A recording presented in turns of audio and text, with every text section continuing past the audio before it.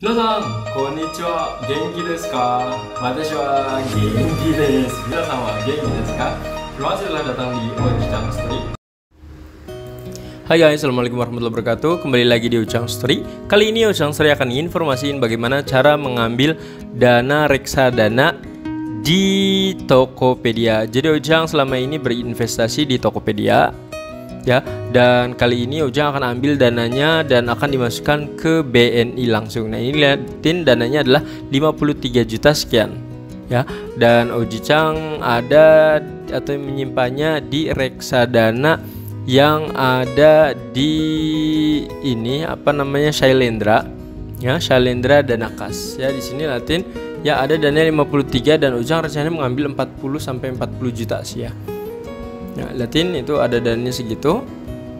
Ujang akan ambil sekitar 41 juta karena lagi ada perlu. Dan ini juga uh, salah satu hal yang membuat Oji Chang kenapa menyimpan uang ataupun investasi di reksadana. Karena pertama gampang ngambilnya itu lebih cepat dan ya praktis ya, seperti itu. Sangat-sangat praktis kan sama juga di bank juga praktis memang benar tapi apakah menguntungkan seperti di reksadana di Tokopedia? Kalau menurut Oji Chang enggak gitu ya. Dan Oji Chang akan ambil dananya. Ojang sarankan ketika kalian mengambil reksadana ini di hari Senin sampai Jumat di jam kerja. Nah sebenarnya kenapa Ujang menyarankan seperti itu? Karena ketika jam-jam tersebut kayaknya udah pasti gitu akan diprosesnya. Tapi ketika Sabtu dan Minggu kan ada yang libur dan lain-lain ya. Meskipun selama ini ketika Ujang bertransaksi di Tokopedia itu selalu apa namanya memuaskan, tidak pernah tidak dipuaskannya, selalu puas. Ya di sini. Jadi ketika kita melakukan transaksi 40 juta yang ini kayak uji cangkai ini 41 juta lihatin langsung berhasil ya. Entah itu hari Sabtu atau Minggu ya biasanya saya membutuhkan waktu 10 menit tapi yang tadi takut kalian ntar diterima gak ya? Ntar prosesnya bener gak ya? Nah kalau kalian takut lebih baik Senin sampai Jumat saja. Tapi selama ini Ujang untuk yang transaksi di Sabtu Minggu pun gak ada masalah ya. Selalu berhasil. Nah lihatin Ujang akan tunggu di bagian saldo. Tadi kan baru diambil tuh reksadanya. Nanti akan masuk di bagian saldo Nah, Ojang coba di refresh dulu. Uh, selama ini sih menurut Ojang nunggu sih ya. Dalam artian nunggu tuh paling kurang lebih sekitar 5 menit. Pokoknya 10 menit kayaknya kurang deh. Seluruh ini ya, dari seluruh Ojang ngambil dana di reksadana, mengambil saldo di Tokopedia sampai memasukkannya ke ATM itu nggak begitu lama.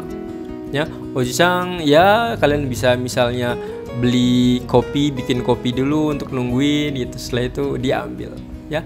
Karena menurut Ojang nggak lama ya. Lihatin video ini aja kurang lebih 5 menit kan. Lihatin dalam waktu kurang 5 menit ini nanti akan ini ya apa dan namanya? Datanya akan masuk. Ya kita tunggu saja dulu. Ya Nah, sekalian menunggu Ojang informasiin uh, biar duit misalnya ada dana kalian yang menganggur, Ojang usahakan silahkan untuk diinvestasikan saja di Tokopedia ini di reksadana.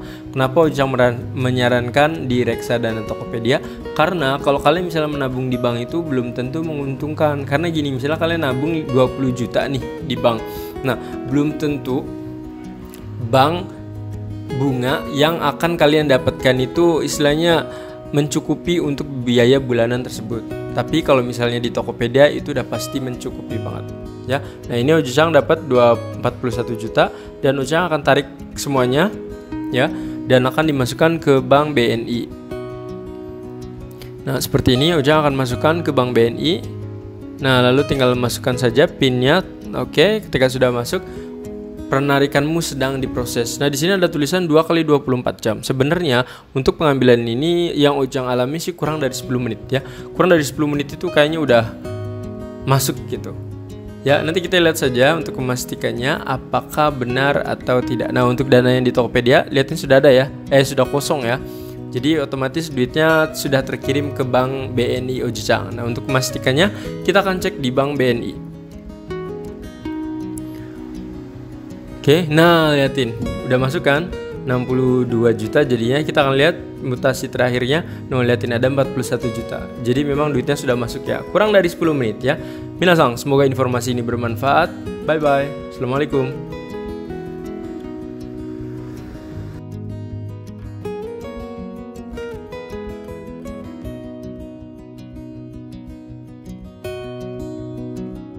Dan silahkan like subscribe, dan share sebanyak-banyaknya. Terima kasih, sayonara, bye bye, arigatou.